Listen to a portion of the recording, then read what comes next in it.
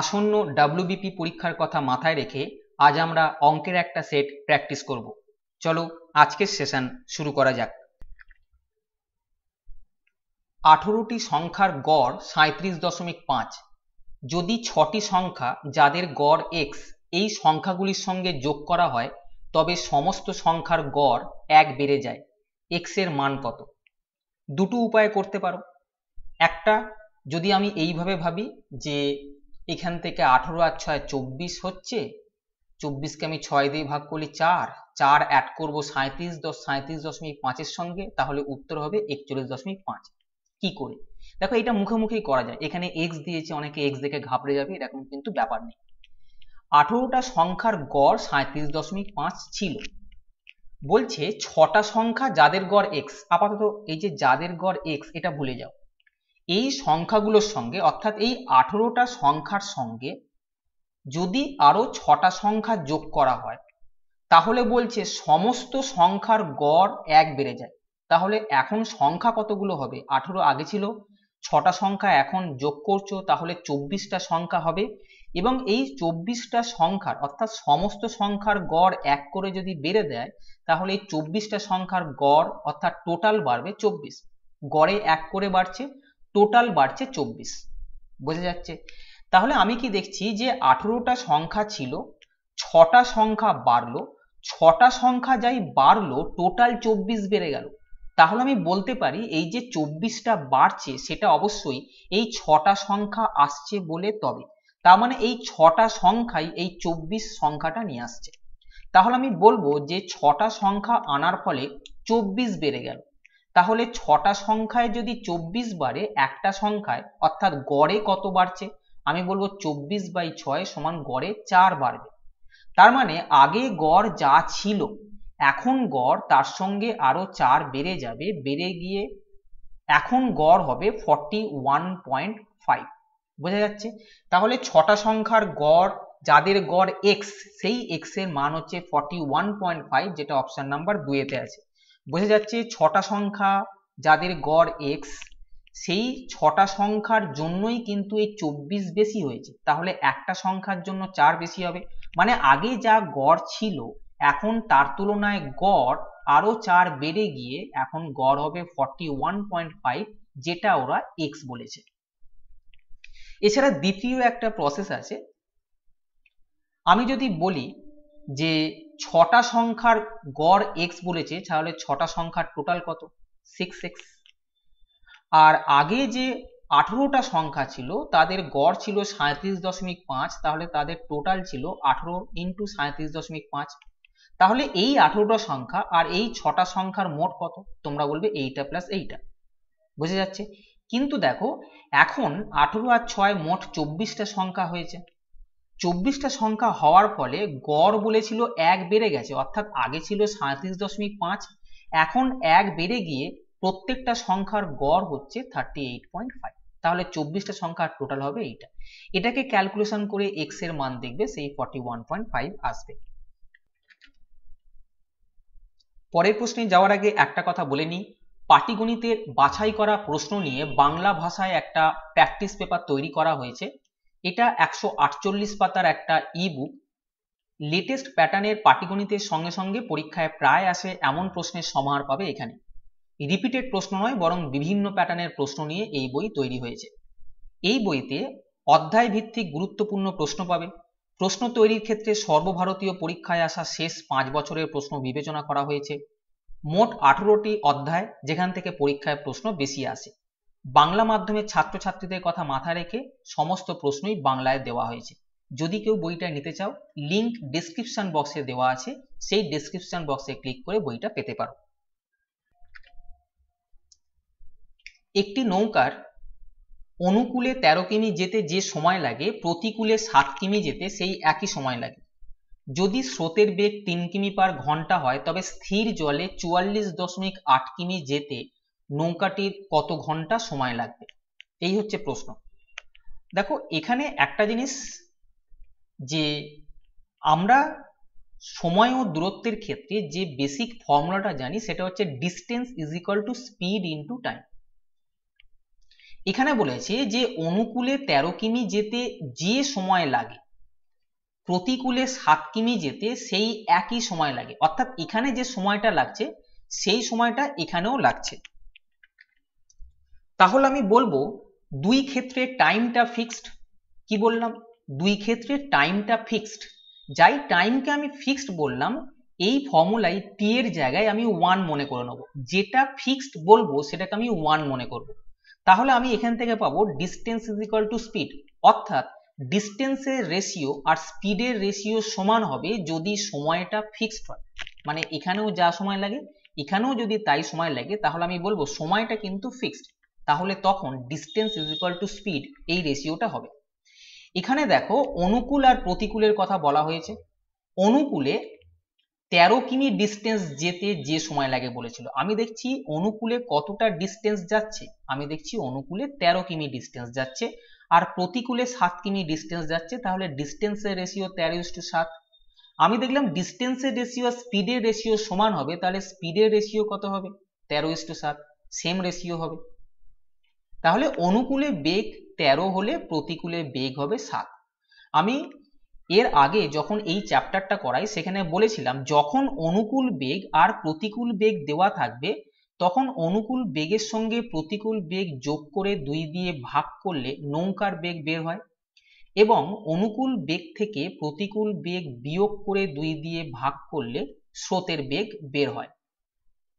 তাহলে এক্ষেত্রে আমি নৌকার বেগ কি বলবো নৌকার বেগ আমি বলবো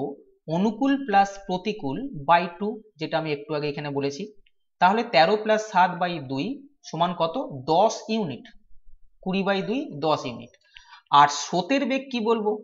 নৌকার বেগ থেকে স্রোতের বেগটাকে মাইনাস করে দুই দিয়ে ভাগ অর্থাৎ ছয় বাই দুই সমান তিন ইউনিট কিন্তু স্রোতের বেগ এখানে দেওয়া আছে তিন কিমি পার ঘন্টা আমি দেখছি স্রোতের বেগ তিন ইউনিট প্রশ্নে বলেছে এটার মান তিন কিমি পার ঘন্টা তাহলে এক ইউনিটের ভ্যালু কত এক কিমি পার ঘন্টা এক ইউনিটের ভ্যালু যদি এক কিমি পার ঘন্টা হয় তবে এইখানে দশ ইউনিটের ভ্যালু কত হবে একের ভ্যালু এক হলে দশের ভ্যালু হবে দশ কিমি পার ঘন্টা অর্থাৎ নৌকার বেগ দশ কিমি পার ঘন্টা আমি বার করতে পারলাম এবারে বলেছে স্থির জলে চুয়াল্লিশ দশমিক আট কিমি যাব স্থির জলে চুয়াল্লিশ দশমিক আট কিমি যাব মানে সেখানে স্রোতের বেগ নেই তাহলে স্রোতের বেগ যখন থাকবে না এই নৌকার বেগ যেটা আছে দশ কিমি পার ঘন্টা এই বেগেই আমি চুয়াল্লিশ দশমিক আট কিলোমিটার যাব বোঝা যাচ্ছে তাহলে চুয়াল্লিশ দশমিক আট কিলোমিটার আমি যাব প্রতি ঘন্টায় বেগ হচ্ছে দশ করে তাহলে আমার কত ঘন্টা সময় লাগবে তোমরা বলবে চুয়াল্লিশ দশমিক আটকে দশ দিয়ে ভাগ তাহলে এখান থেকে দশমিক তুললে আমি এটাকে একশো লিখতে পারি একশো দিয়ে চারশো আটচল্লিশকে ভাগ করো চার একশো চারশো এখান থেকে আটচল্লিশ আসছে অর্থাৎ আমি বলবো চার পূর্ণ আটচল্লিশ বাই একশো এটাকে আমি যদি চার দিয়ে কাটি চার বারো আটচল্লিশ চার পঁচিশ শ অর্থাৎ চার পূর্ণ বারোর পঁচিশ ঘন্টা সময় লাগবে যেটা অপশান নাম্বার চারিতে আছে কোনো বস্তুর ধার্য মূল্য নশো টাকা খরিদ্দার দুটি বস্তু ক্রয় করলে ষোলো শতাংশ ছাড় পায় পাঁচটি বস্তুর ক্রয় করলে চুয়াল্লিশ শতাংশ ছাড় পায় যদি রাকেশ সাতটি বস্তু ক্রয় করে তবে সে কত শতাংশ ছাড় পায় দেখো এখানে ধার্য মূল্য নশো টাকা বলে দিয়েছে আমি ধার্য মূল্যকে কিছুক্ষণের জন্য একশো টাকা মনে করলাম যা বেরোবে তাকে নয় দিয়ে গুণ করলে তুমি পেয়ে যাবে তাই তো তাহলে একশো টাকা আমি ধার্য মূল্য ধরলাম কিছুক্ষণের জন্য মনে করো যে প্রতিটা বস্তুর ধার্য মূল্য একশো টাকা প্রতিটি বস্তুর ধার্য মূল্য একশো এবারে দেখো দুটো বস্তু ক্রয় করলে ষোলো শতাংশ ছাড় পায় একটা বস্তুর ধার্য মূল্য যদি একশো টাকা হয় তাহলে দুটো বস্তুর ধার্য মূল্য কত হবে দু একশো দুশো টাকা বলেছে দুশো টাকার উপরে সিক্সটিন পার্সেন্ট ছাড় দিচ্ছে দুশো টাকার উপরে যদি সিক্সটিন পার্সেন্ট ছাড় দেয় তাহলে কত টাকা ছাড় দেওয়া হচ্ছে তোমরা বলবে বত্রিশ টাকা ছাড় দেওয়া হচ্ছে বোঝা যাচ্ছে আবার বলছে পাঁচটা বস্তু ক্রয় করলে চুয়াল্লিশ শতাংশ ছাড় পায় পাঁচটা বস্তুর ধার্য মূল্য কত প্রতিটা বস্তুর ধার্য মূল্য একশো হলে পাঁচটা বস্তুর ধার্য মূল্য পাঁচশো টাকা এর উপরে ফর্টি ফোর পার্সেন্ট ছাড় দিচ্ছে আমি দেখব যে পাঁচশো টাকার উপর ফর্টি ফোর পার্সেন্ট মানে আমি কত টাকা ছাড় দিলাম সেটা হচ্ছে চুয়াল্লিশকে পাঁচ দিয়ে গুণ করব দুশো কুড়ি টাকা ছাড় দিচ্ছি তাহলে আমি এখানে দুটো বস্তু এখানে পাঁচটা বস্তু মোট সাতটা বস্তুতে আমি কত টাকা ছাড় পাবো এই দুটোকে যোগ করলে তোমরা বলবে দুশো বাহান্ন টাকা ছাড় পাবো তাহলে সাতটা বস্তুতে দুশো বাহান্ন টাকা ছাড় পাওয়া যায় এবার বলছে রাকেশ দুটো আর পাঁচটা এইভাবে না কিনে যদি সাতটা বস্তু ক্রয় করে তবে সে কত শতাংশ ছাড় পাবে একবারে কিনছে দেখো রাকেশ যদি সাতটা বস্তু কিনে সাতটা বস্তুর ধার্য মূল্য কত হবে প্রতিটা বস্তুর ধার্য মূল্য যদি একশো করে হয় সাতটা বস্তুর ধার্য মূল্য হবে সাত ইন্টু একশো সাতশো টাকা বোঝা যাচ্ছে এটা হচ্ছে সাতটা বস্তুর ধার্য মূল্য বলেছে কত টাকা ছাড় পাবে কত পার্সেন্ট আমি মনে করছি এক্স পার্সেন্ট ছাড় পাবে বোঝা যাচ্ছে তাহলে সাতশো টাকা ধার্য মূল্য এর উপর এক্স পার্সেন্ট ছাড় দিলাম তাহলে কত টাকা ছাড় হবে আমি জানি যে সাতটা বস্তুতে দুশো বাহান্ন টাকা ছাড় পাওয়া যায় আমি তো দুশো বাহান্ন টাকা ছাড়ই পাবো দুই প্লাস পাঁচ সাতটা বস্তুতে দুশো বাহান্ন টাকা রাকেশ একেবারে সাতটা বস্তু কিনেছে রাকেশও ওই দুশো বাহান্ন টাকা ছাড় পাবে তাহলে সাতটা বস্তুতে দুশো বাহান্ন টাকা ছাড় যদি পায় আমি মনে করছি এক্স পার্সেন্ট করে ছাড় পেয়েছে এক্স এর ভ্যালু কত সেটাই তোমায় বার করতে হবে জাস্ট এটাকে কাটো সাত দিয়ে যদি কাটি তিন সাতে একুশ ছ সাতে বিয়াল্লিশ অর্থাৎ এক্স এর মান হচ্ছে থার্টি সিক্স তাহলে রাকেশ সাতটা বস্তুতে থার্টি সিক্স পার্সেন্ট ছাড় পাবে যেটা অপশন নাম্বার তিনেতে আছে ড্যাশ এবং ড্যাশ সংখ্যা দিয়ে এই সংখ্যাটি বিভাজ্য হবে অর্থাৎ কোন কোন সংখ্যা দিয়ে এটা বিভাজ্য হবে সেটা বলেছে এখানে এক কতগুলো আছে এক দুই তিন চার পাঁচ ছয় সাত আট নয় দশ এগারো বারোটা বারোটা একের যোগফল বারো আমি জানি বারো তিন দিয়ে বিভাজ্য নয় দিয়ে না তাহলে এই নয় দিয়ে এটা তো হবে না নয় আছে এখানে এটা হবে না এখানে তেরো আর এগারো এখানে তিন আর এগারো পড়ে আছে আমি দেখব যে এই সংখ্যাটা বারো তিন দিয়ে বিভাজ্য তাহলে এখানে একটা দেখতে পাচ্ছি এইটা হতে পারে কেন বারো তিন দিয়ে বিভাজ্য মানে এই সংখ্যাটাই তিন দিয়ে বিভাজ্য হবে এবার এই সংখ্যাটা এগারো দিয়ে বিভাজ্য কিনা সেটা চেক করব চার পাঁচ ছয় সাত আট নয় দশ এগারো বারো কি করে সেটা দেখে যে এগারো দিয়ে কোনো সংখ্যা বিভাজ্য কিনা একটা এরম করে স্কিপ করে করে সংখ্যাগুলোকে যোগ কর এক একে দুই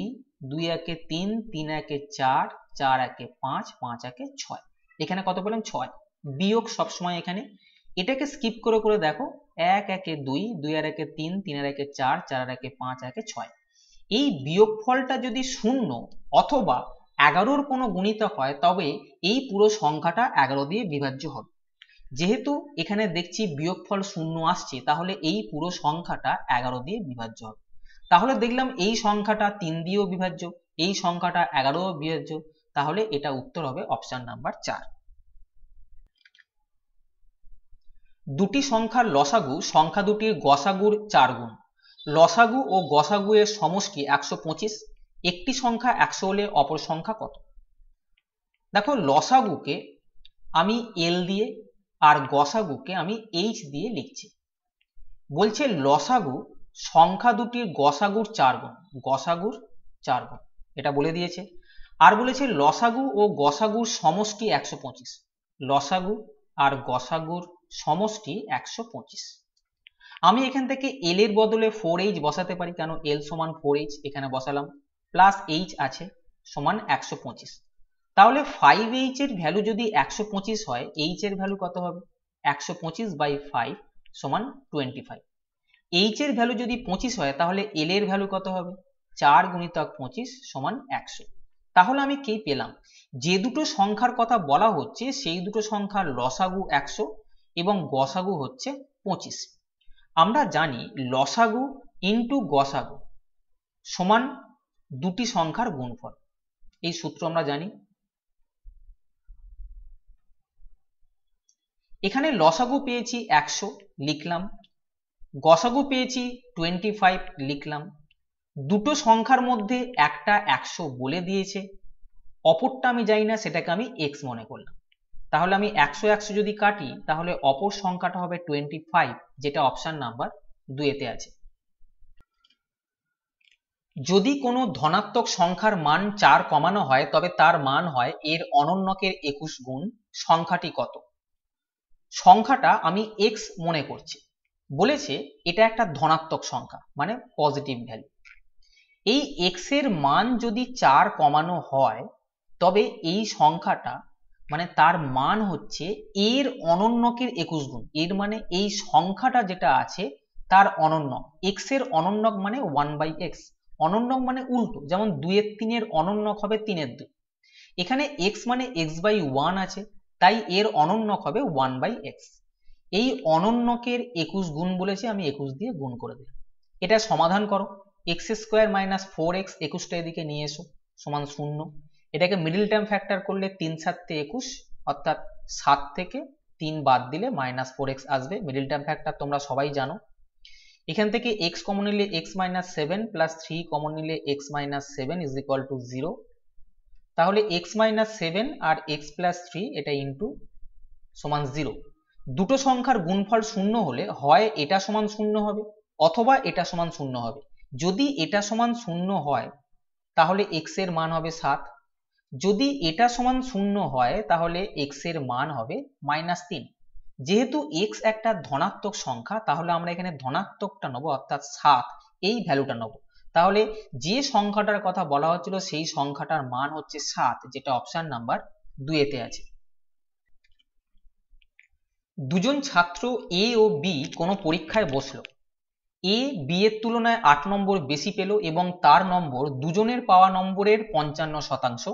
এ ও বি দুজনে মোট কত নম্বর পেয়েছিল দেখো এখানে বলেছে যে তার নম্বর তার মানে কি এর নম্বর দুজনের পাওয়া নম্বরের পঞ্চান্ন শতাংশ বলেছি এর নাম্বার সমান দুজনে যে নাম্বারটা পাবে তার ফিফটি ফাইভ পার্সেন্ট আমি করে দিলাম ফিফটি ফাইভ পার্সেন্ট পাঁচ দিয়ে কেটে দাও এইটা ক্রস গুণ করো কুড়ি এ ইজ ইকুয়াল টু এগারো এ প্লাস এগারো বি কুড়ি এটা যদি এই সরি এগারো এটা যদি এদিকে নিয়ে যাও তাহলে এটা হবে এগারো বি অর্থাৎ নাইন এ সমান এগারো বি এ বাই বি এই রেশিওটা আসবে এগারো বাই নয় অর্থাৎ এ এর মান যদি এগারো হয় বি এর মান হচ্ছে নয় তাহলে এ আর বি এর মধ্যে এ বড় বি ছোট এ কতটা বড় এগারো থেকে নয় বাদ দিলে তোমরা বলে দু ইউনিট বড় কিন্তু প্রশ্নে দিয়েছিল এ বি এর তুলনায় আট নম্বর বেশি আমি দেখছি দু নম্বর বেশি পেয়েছে কিন্তু প্রশ্ন বলছে আট নম্বর বেশি তাহলে দুই ইউনিটের ভ্যালু আট নম্বর হলে এক ইউনিটের ভ্যালু হবে চার নম্বর কি চেয়েছে এও বি দুজনে মোট কত নম্বর পেয়েছে আমি দেখছি এ যদি এগারো পায় বি পাবে নয় অর্থাৎ দুজনে মোট পাবে এগারো প্লাস নয় সমান কুড়ি ইউনিট এক ইউনিটের ভ্যালু চার হলে কুড়ি ইউনিটের ভ্যালু হবে কুড়ি ইন্টু চার সমান আশি যেটা অপশান নাম্বার দুয়েতে আছে x plus one by x সমান টু হলে এটার মান কত